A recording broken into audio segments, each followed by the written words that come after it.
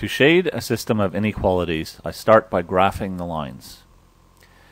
How to do this is the subject of other videos, so I'm going to use some shortcuts. The first equation, x plus y less than 7, I pretend that the less than sign is an equals, and I make a table of values the same way I would if it was an equality. This set of points would satisfy this equation. Drawing a line that goes through these points have me put the line here.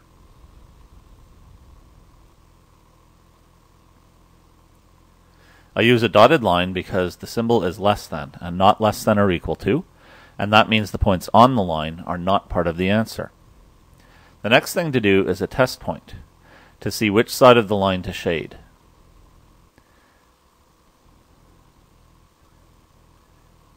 If I test the point 0, 0, I end up with a true statement, and that means that 0, 0 has to be within the solution set for this inequality.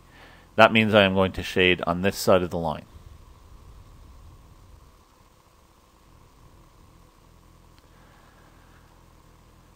I choose a direction for my shading, and I shade all the way to the edges of the graph.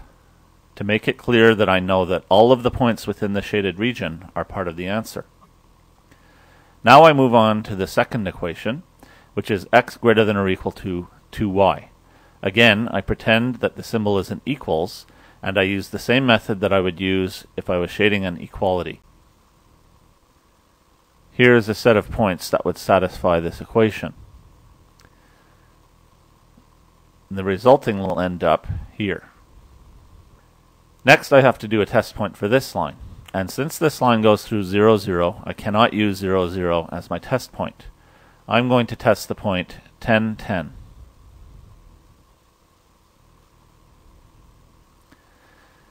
If I plug 10 and 10 as my x and y into the inequality, I get a false statement. And that means I need to shade the side of the line that does not include the point 10, 10.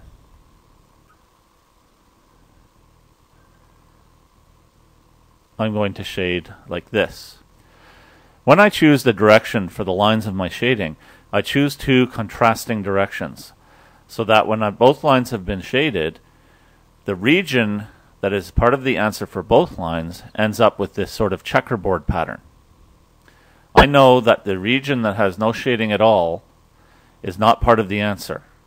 And these two regions over here and over here that are single shaded are also not part of the answer for the system of inequalities. Only the region that is double shaded is part of the answer.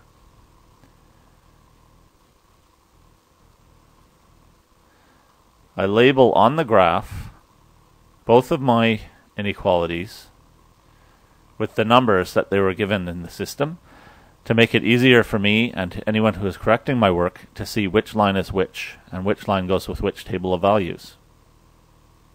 This is how you shade a system of inequalities.